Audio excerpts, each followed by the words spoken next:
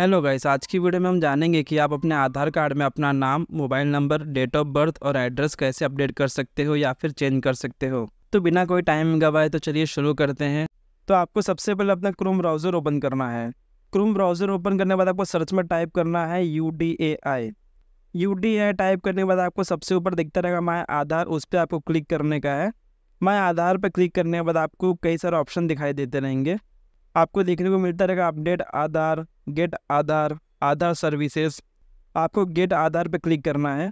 Gate Aadhaar पे click करने के बाद आपको देखने को मिलेगा कई सारे option book appointment check status download Aadhaar अब आपको बुक अपॉइंटमेंट पे जाना है।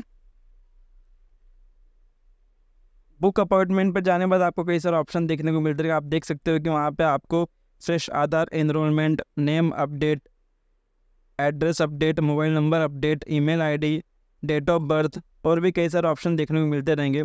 अब आपको नीचे आना है। नीचे आने के बाद आपको सेकेंड वाले ऑप्शन पे जाना है। बुक ऑन अपॉइंटमेंट वाले पे।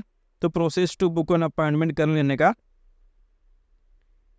सेकेंड वाले ऑप्शन पे जाने के बाद आपको देखने को मिलता रहेगा कि अब आपको यहाँ पे मोबाइल नंबर डालना है अपना। आप कोई भी नंबर डाल सकते हो, जो आधार कार्ड पर लिंक नहीं है तो भी चलेगा। अब आप अपना मोबाइल नंबर डाल लीजिए। मोबाइल नंबर डालने के बाद आपको नीचे कैप्चा डालना पड़ेगा सेम एज इट इज़ नीचे वाले बॉक्स में। तो चलिए कैप्चा डाल लेते हैं। कैप्चा डालने के बाद आपको सेंड ओ टी पे क्लिक करना है। अब आपके मोबाइल नंबर पे एक ओ टी पी आया रहेगा। अब आपको उस ओ टी पी को इस बॉक्स पर डालना है। तो चलिए ओ टी पी डाल लेते हैं। अब ओ टी पी डालने के बाद आपको सबमिट ओ टी पी पे क्लिक करना है। अब सबमिट ओ टी पे क्लिक करने के बाद आपको देखने को मिलता रहेगा कि दो ऑप्शन देखने को मिलता रहेगा।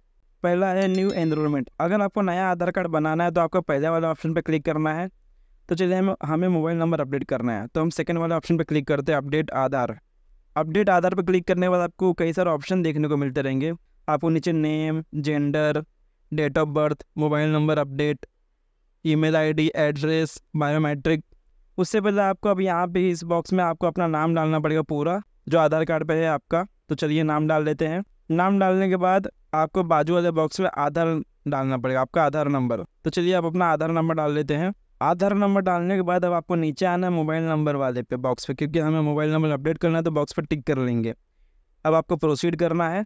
प्रोसीड पे क्लिक करने के बाद आपको एक पॉपअप देखने को मिल जाएगा। अब आपको उस पर ओके कर लेने का है।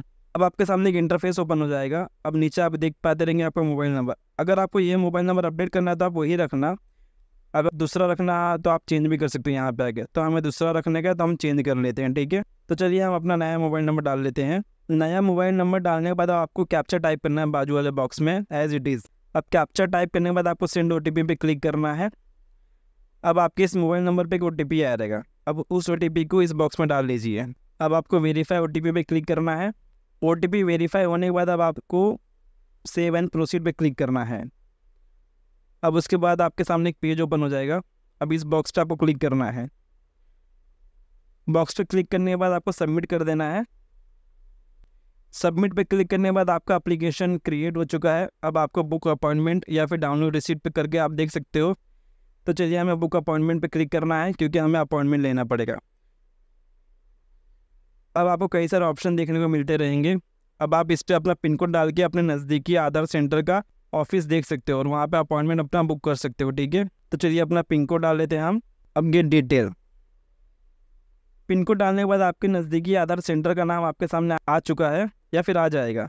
अब उस आधार सेंटर के बुक अपॉइंटमेंट पर क्लिक करके आप अपना अपॉइंटमेंट बुक कर सकते हो। अब आपको यहाँ पे कई सारे डेट देखने को मिलते रहेंगे। अगर आपके यहाँ पे अपॉइंटमेंट या तो स्लॉट अवेलेबल रहेगा तो आपको ये डेट ग्रीन दिखाई देगा, वरना रेड दिखाई देगा। अभी मेरे यहाँ पे सब रेड है तो अभी मैं अपॉइंटमेंट बुक नहीं कर सकता। अगर आपके यहाँ पे वो खाली रहेगा स्लॉट तो आपके वहाँ पे ग्रीन दिखाई देगा तो आप ग्रीन पे क्लिक करके अपॉइंटमेंट बुक कर सकते हो, ठीक है? आप रिसिप्ट डाउनलोड करके अपने आधार कार्ड सेंटर पर जाके वो रिसिप्ट दिखा के आप अपना मोबाइल नंबर अपडेट कर सकते हो। आज की वीडियो में बस इतना ही, धन्यवाद।